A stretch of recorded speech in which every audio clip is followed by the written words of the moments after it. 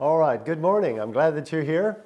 I hope that you have your Bibles ready. Let's go to 1 Thessalonians chapter 5 this morning. Uh, things continue as they were for, for now. We'll let you know uh, how things are going as far as our, our public meetings.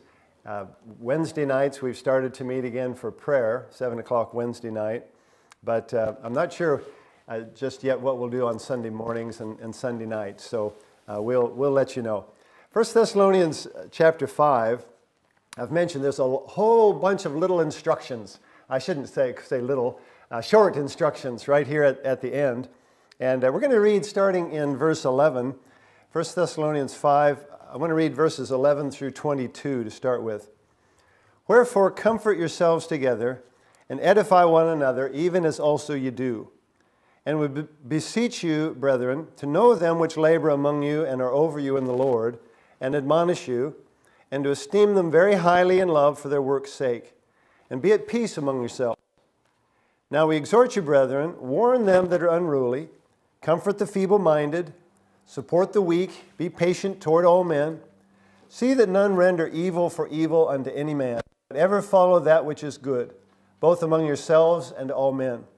Rejoice evermore, pray without ceasing, in everything give thanks, for this is of God in Christ Jesus concerning you. Quench not the spirit, despise not prophesying, prove all things, hold fast that which is good, abstain from all appearance of evil.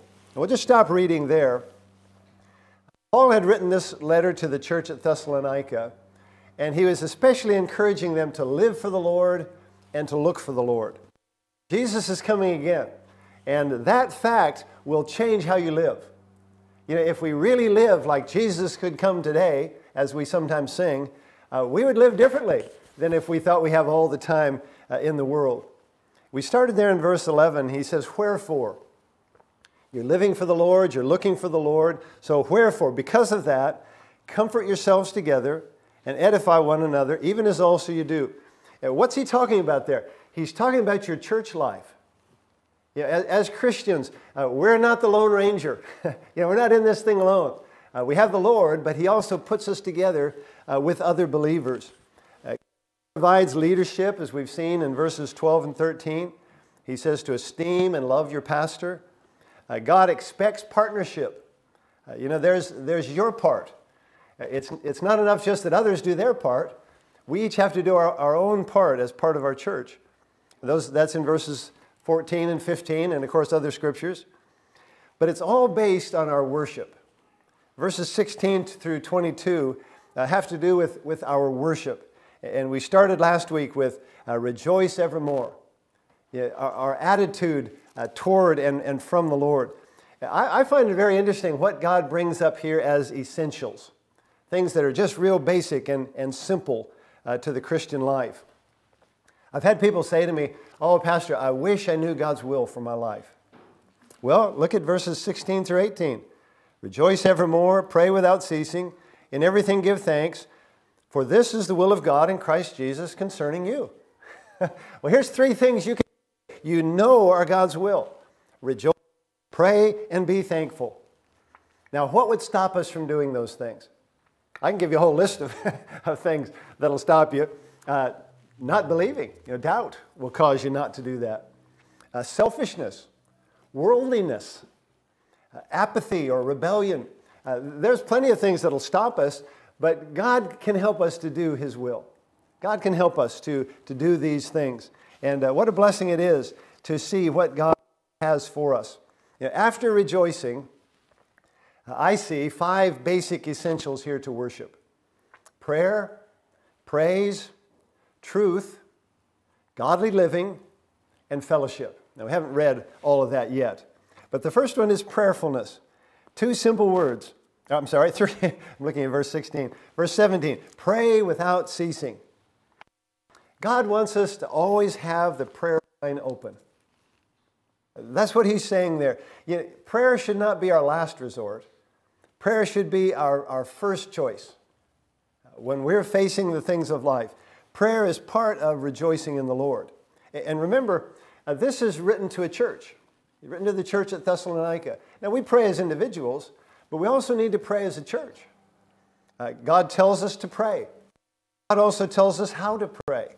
You can go back to the Gospels and, and other places. Uh, you know, in uh, Luke 11, for instance, the disciples came to Jesus and said, uh, Jesus, teach us to pray. Jesus gave them the model prayer. Then he, he made some comments about, uh, you, you know, not, not giving up, being persistent in prayer. He tells us how to pray. God tells us why to pray.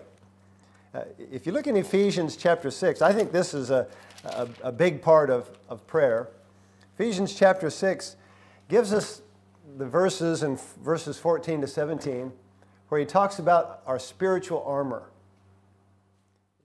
In um, verse 14, stand with your loins girded about with truth, breastplate of righteousness, and you know, a whole list of, of spiritual things that we need to uh, be using in, in our Christian life. And verse 13 starts with, Wherefore take unto you the whole armor of God. So, what's the wherefore? Well, verse 12 For we wrestle not against flesh and blood but against principalities, against powers, against the rulers of the darkness of this world, against spiritual wickedness in high places. We pray because we're in a spiritual battle and we need to use spiritual weapons. At the end of that list of, of spiritual armor, he says in verse 18, praying always with all prayer and supplication in the Spirit, and watching thereunto with all perseverance and for all saints. Now, I find quite often Prayer is one of the first things we drop off uh, in our spiritual activities. Yeah, we think, oh, well, yeah, uh, Lord knows. uh, there's a lot of reasons why people don't pray, but there's a lot of good reasons to pray. Uh, we're in a battle. We need to pray just to glorify the Lord. Uh, we need to pray to have fellowship with God.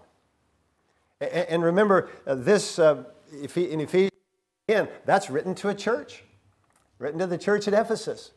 They needed to be praying together as a church. We pray because we have needs. Maybe you don't, but I do. I think we all do. Well, we, we do. Uh, we need wisdom. God says if we lack wisdom, ask Him. Uh, there's sometimes we need deliverance or help. Uh, we need forgiveness. But you know, we, we don't just pray because we have needs, we pray because others have needs too. Yeah. We pray for others. Uh, we pray to worship the Lord. I think that's so important. Uh, God says this is part of our worship. The second one that we come to there, or the next one, maybe I should say, in verse 18, in everything give thanks, for this is the will of God in Christ Jesus concerning you. Another part of worship is thankfulness. Thankfulness. I find that there's many people who do not thank the Lord. Let me give you a couple of reasons why people don't thank the Lord. Some people think their life is just a result of luck. Well, it just happened. And so they don't thank the Lord when good things happen. Others are what you call fatalists. I've even heard Christians say, well, what will be, will be. It was, must have been meant to be. And instead of looking to God and saying, thank you, Lord, they just say, well, that's just, that was just the way it was going to happen. Others believe in hard work. they say, well, the reason this happened is because I deserve it. I worked so hard. Listen, I can guarantee you, there's people who work just as hard as you do who don't have the blessings you do. Some who work harder. And when, when we have those reasonings in the back of our mind, we don't bother to thank the Lord. We say, well, but God says part of worship is to, to thank Him. As Christians, we believe in the goodness of God. James wrote in James 1:17, Every good gift and every perfect gift is from above, and cometh down from the Father of lights, with whom is no variableness, neither shadow of turning. God doesn't have one single day when He's bad. God is always good. Oh, I'm glad. Every good gift comes from God. And uh, when good things happen in our life, that's the, especially the time to thank Him. But He says, in everything, give thanks. We give thanks in everything. It doesn't necessarily mean you thank God for everything. We don't thank God for sin, but we thank God in those difficult times. Now, Ephesians 5.20 does say uh, to give thanks for all things, but I think it's, uh, it's measured by the Word of God, you know. Uh, it, it, has to be taken in, in context. And one of the first things you need to thank the Lord for is for your salvation. Uh, if you're saved, it's because, it's because God gave His Son. It's because Jesus gave his life. It's because you don't have to do anything to be saved other than believe what's already been, been done. Uh, Colossians chapter 2, verses 6 and 7. He says, As ye have therefore received Christ Jesus the Lord, so walk ye in him, rooted and built up in him, and established in the faith as you've been taught, abounding therein with thanksgiving. you, know, you receive Christ by faith, live by faith, and be thankful. Worship him by, by thanking him. There's some verses in Colossians 3, starting in verse 15. Let the peace of God rule in your hearts, to the which also ye are called in one body, and be ye thankful. It's written to the church at Colossae there. Let the word of Christ dwell in you richly in all wisdom, teaching and admonishing one another in psalms and hymns and spiritual songs, singing grace in your hearts to the Lord. And whatsoever you do in word or deed, do all in the name of the Lord Jesus, giving thanks to God and the Father by him. Whatever you're doing, uh, have an attitude of, of thankfulness. That's to the Lord. You know, we live in a day when people spend a lot of time talking about worship and do very little. Uh, a lot of the things going on that are, are called worship are actually exercises in selfishness. They're not doing it because they think God likes it, they're doing it because they like it. And of course, God should like what I like. uh, folks, we need to be careful. God teaches us here about worship. Prayerfulness is part of that, thankfulness is part of that. And then he says that we need to listen to God. That's part of worship. You know, to really worship the Lord, you need to listen to him. Verse 19, he puts it this way quench not the spirit. There's problems that people have with the Holy Spirit. Unsaved people resist or even blaspheme the Holy Spirit. But as Christians, we can quench or grieve the Holy Spirit. I think they're part of the same thing. Ephesians 4, he says, Grieve not the Holy Spirit. The Holy Spirit is grieved when we quench him. Grieving is his part, quenching is our part. Uh, he's grieved when we quench his work, when we quench his work uh, in our life. And you know, I think we live in a day, well, maybe it's always been this day, when people accept substitutes for the Holy Spirit's work.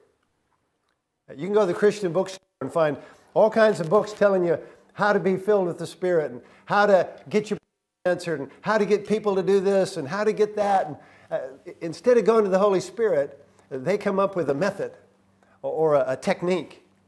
Uh, some people turn to psychology and they want their, their head to, to feel and their thoughts to be a certain way. Uh, we need to be careful we're not going to something or someone else other than the Holy Spirit. That quenches him. You know, the Holy Spirit wants to lead you, and you go to the psychologist or, or you go to the, the latest Christian guru. You know?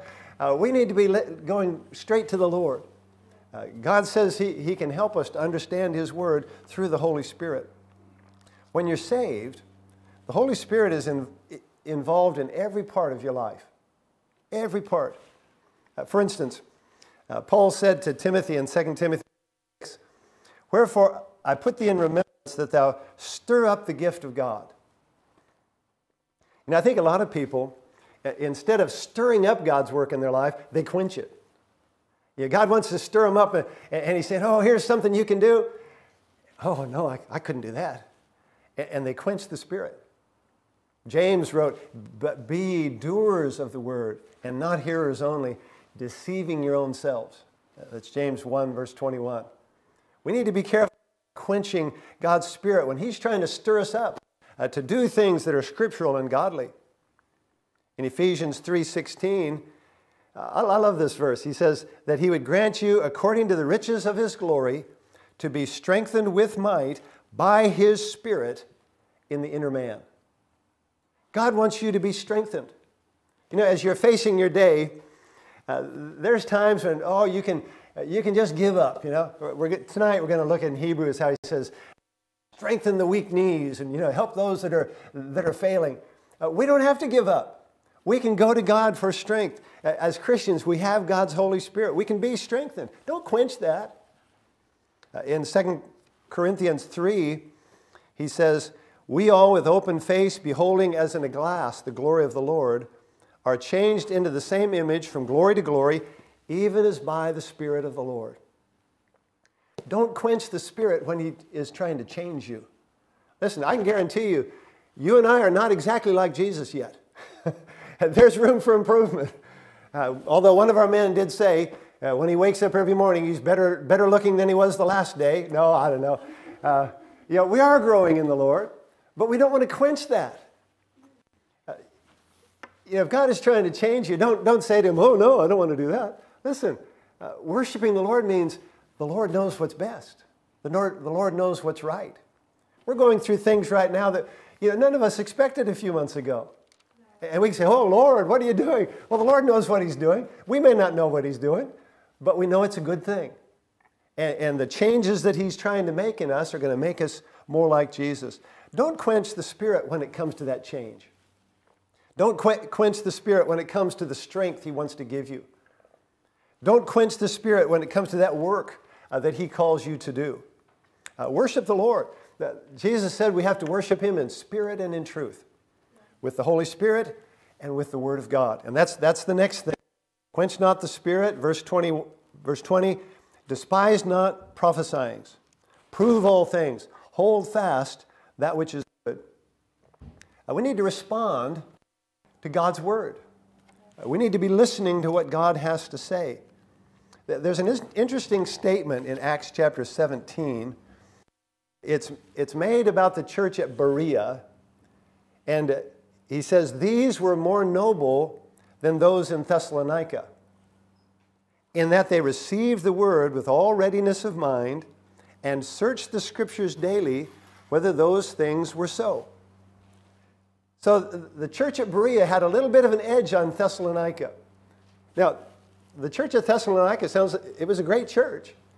But there must have been some kind of weakness, a little backwardness in listening to God's word. Uh, we need to be careful that we don't treat God's word with contempt. Now, I don't think they were treating God's word with contempt, but you know, there's sometimes when we just don't listen like we should. We should respond to God's word. We shouldn't just push it aside. I read a lot. I read fiction, nonfiction, and especially when I'm reading fiction, there's times when I just skip whole bits, you know?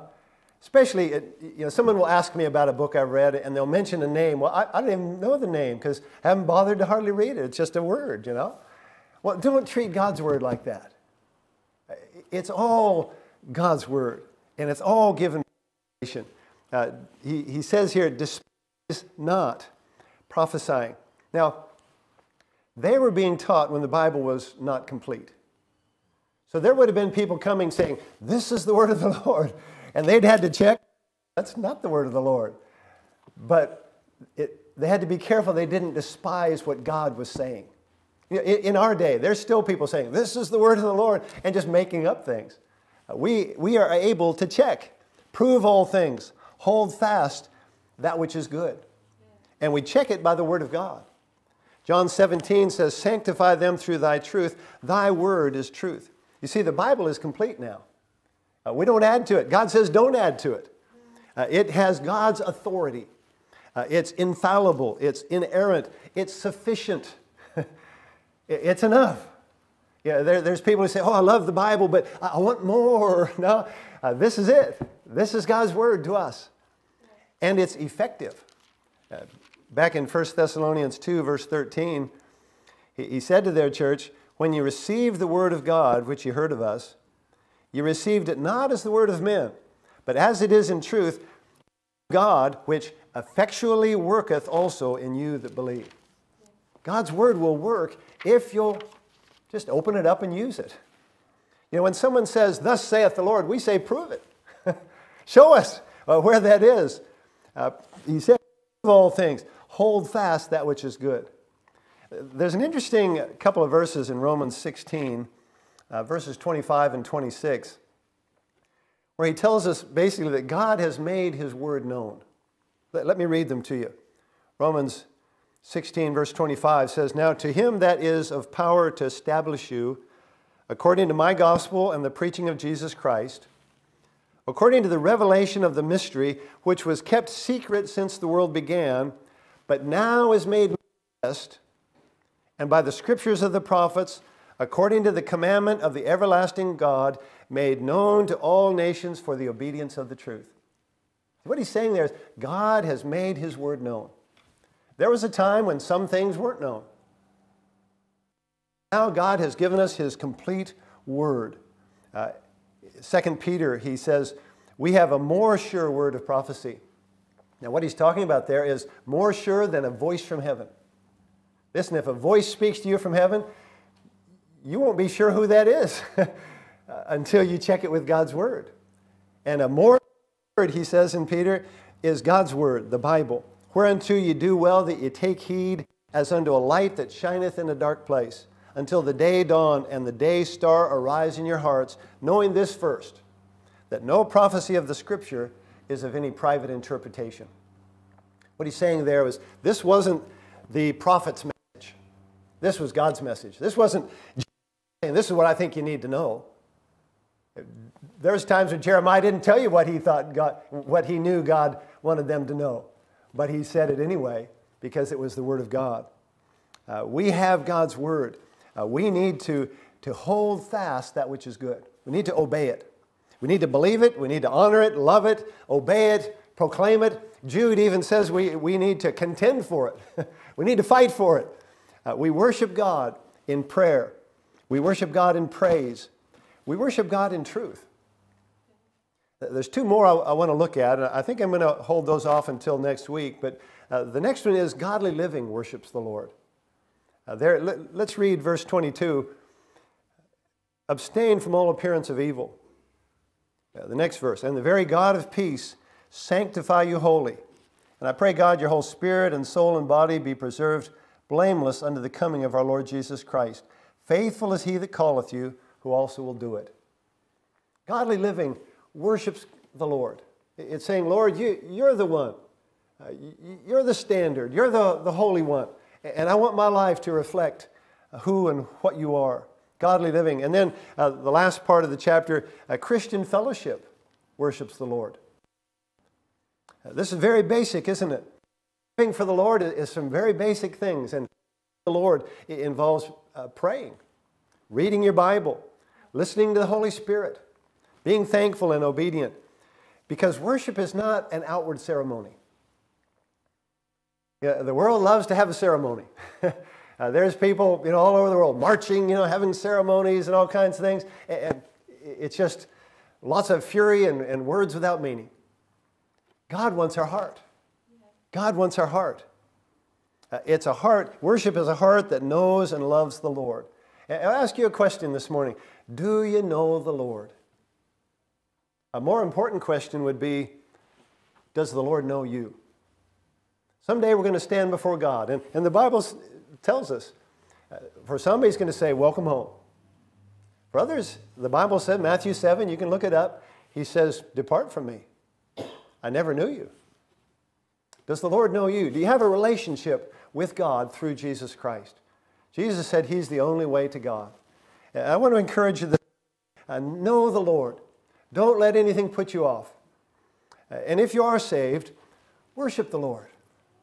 Worship Him with, with your time. Worship Him with your life. Worship Him uh, in spirit and in truth. Uh, do the things that, that God has said as we look at them in, in His Word. And if you need help or you want to talk to someone about uh, the Lord and about these truths from God's Word, uh, give me a call. Uh, go to our website, uh, fbcbrisbane.org. there's a lot of help available. And the Lord knows you, the Lord knows your heart, and the Lord wants to have fellowship with you. Uh, he's made a way for, for that to happen. Let's go to Him in prayer. Father, we are so grateful that you love us. Lord, thank you for these simple instructions this morning. Help us to just set aside our own prejudice and, and uh, weariness, and, and Lord, help us to just honor you and love you and rejoice in you. I pray, Lord, that we would work in spirit and in truth. God, help us now. We, we thank you for your goodness and pray this in Jesus' name. Amen. Amen. God bless you.